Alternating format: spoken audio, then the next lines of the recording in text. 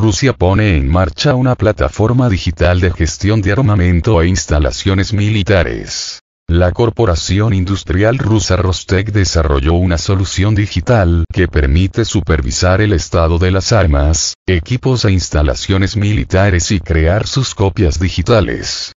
La introducción del sistema ayudará a mejorar la eficiencia del funcionamiento de los equipos e instalaciones militares, así como la eficacia de la toma de decisiones.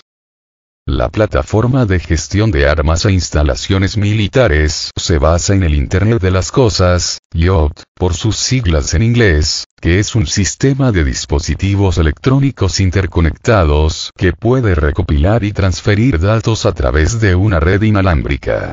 Un sistema de IoT consiste en sensores o dispositivos que se comunican con la nube, una vez que los datos llegan a la nube, el software los procesa y define si es necesario realizar alguna acción sin que el usuario deba intervenir o enviar una alerta.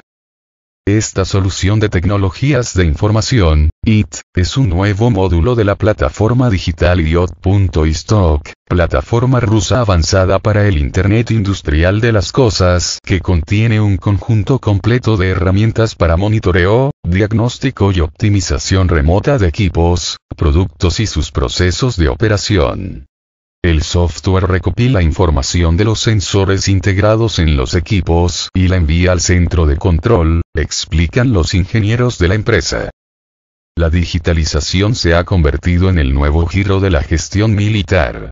El módulo IOT.istock permitirá mejorar la seguridad y fiabilidad del funcionamiento de los equipos e instalaciones militares, la disponibilidad y fiabilidad de la información y la eficiencia en la toma de decisiones, señala Vitaly Alexandrov, director de la transformación digital de la empresa rusa de investigación y producción ISTOK.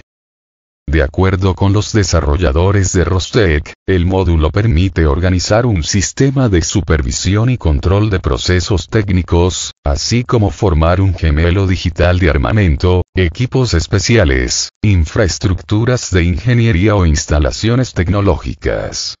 Al recopilar y procesar el gran volumen de datos, la plataforma es capaz de garantizar la transparencia del funcionamiento de los equipos e identificar tendencias en su funcionamiento, prever el estado de los equipos y planificar su mantenimiento.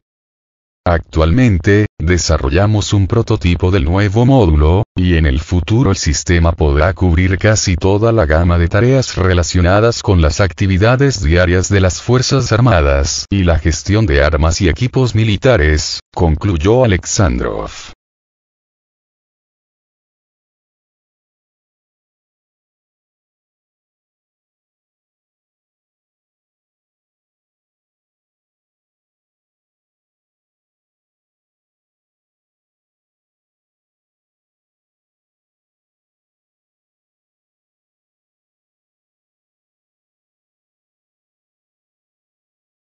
Militares rusos rechazan tres ataques en la línea de Kupiansk.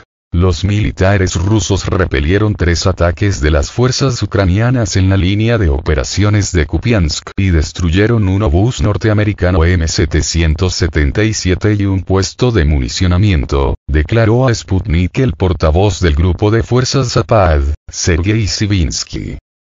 Durante los combates en la línea de operaciones, el enemigo de la 38 y 43 brigadas mecanizadas lanzó con el apoyo de blindados tres contraataques contra las posiciones de las tropas rusas cerca del poblado de Sergeyevka. Todos los ataques fueron repelidos con el fuego de la artillería, dijo el portavoz.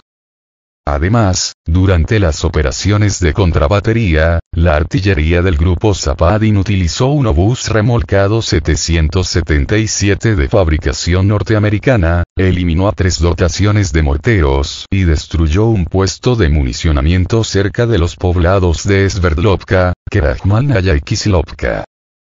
Rusia lanzó su operación militar especial en Ucrania el 24 de febrero de 2022 para defender las repúblicas populares de Donetsk y Lugansk, previamente reconocidas por Moscú como estados soberanos, frente al genocidio cometido por parte de Kiev.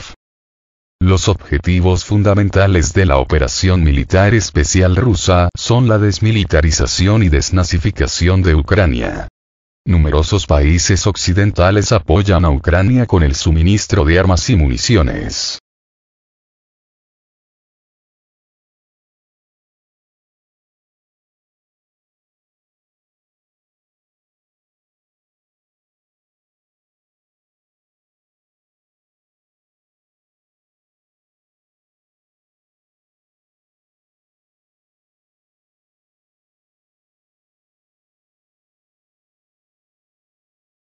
Chivo expiatorio. ¿Cuáles son las reales razones de la dimisión del ministro de Defensa ucraniano? La dimisión del ministro de Defensa de Ucrania, Alexei Reznikov, está relacionada con varios factores, como el fracaso de la contraofensiva de las Fuerzas Armadas ucranianas y la difícil situación política interna del país, declararon a Sputnik expertos entrevistados.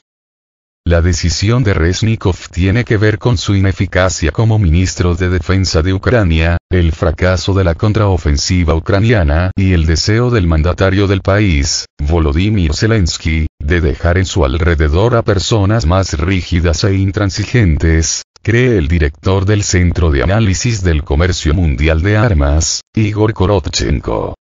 El analista militar señaló también que el deseo de Zelensky de encontrar un ministro de defensa más competente puede estar relacionado con la reunión del Grupo de Contacto para la Defensa de Ucrania, que tendrá lugar el 19 de septiembre y en la que se planificará la campaña militar de otoño-invierno de 2023 y la de primavera-verano de 2024. A su vez, el director ejecutivo del grupo mediático ruso Rosilla Segonda, Kirill Vyshensky, llamó a Resnikov un chivo expiatorio porque la situación política interna de Ucrania es muy desfavorable para Zelensky. En opinión del experto, ella se debe a la falta de éxito en el frente de la operación militar especial rusa y numerosos escándalos de corrupción. Zelensky se dio cuenta de que esto es un golpe para él personalmente, para su imagen, y cada vez se habla más de la necesidad de convocar elecciones, detalló.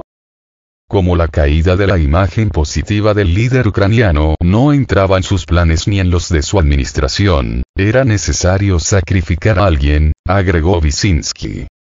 Además, el analista recordó que la ofensiva ucraniana se planifica en los estados mayores y no en el Ministerio de Defensa ucraniano, por lo que las acusaciones de Resnikov sobre la falta de éxitos en el frente solo tienen que ver con el deseo de encontrar a un responsable del fracaso. El 3 de septiembre, Zelensky anunció la destitución de Resnikov y propuso al jefe del Fondo de Propiedad Estatal de Ucrania, Rustem Umerov, como candidato al puesto de ministro de Defensa.